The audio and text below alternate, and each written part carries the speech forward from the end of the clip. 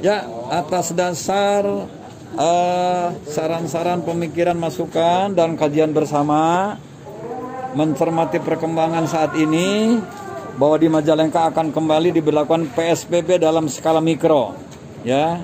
Nah, indikasinya dilarang hajatan dilarang berkerumun dilarang seni budaya sekolah dioffkan dulu begitu ya.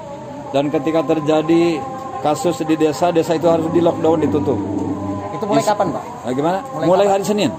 Hari Senin. Suratnya akan dibuat sekarang dan hari Senin akan pikom kita dengan seluruh kepala desa ya dengan KUA, PGRI, camat, polsek dan rami dan sebagainya. Gitu. Mikro itu bagaimana Pak? Ya artinya diberlakukan lokal. Lokal. Seperti sekarang Argapura. Argapura di lockdown tuh.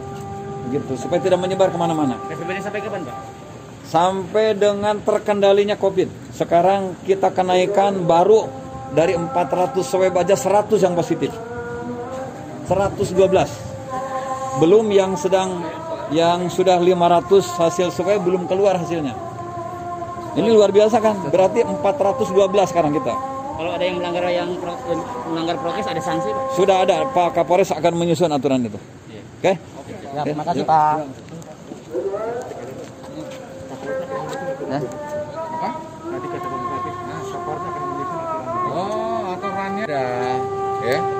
Kemudian ada undang-undang yang selama ini sudah mengatur, ya. Ada undang-undang karantina, ada undang-undang penanggulangan wabah penyakit menular, ya. Kemudian ada pasal-pasal KUHP. Nah, itu. Ya. Untuk sanksi sendiri, Sanksi. Sanksinya, sanksi dari undang-undang itu tadi, ya kan. Nanti kita lihat eh, level skala dari pelanggaran yang dilakukan. Kalau misalnya diingatkan sudah bisa, sudah bisa buyar, ya sudah, ya kan. Nah, tapi kalau tidak segera membubarkan diri, melawan, ya, melukai petugas, nah itu sanksinya tentu dengan pasal-pasal undang-undang.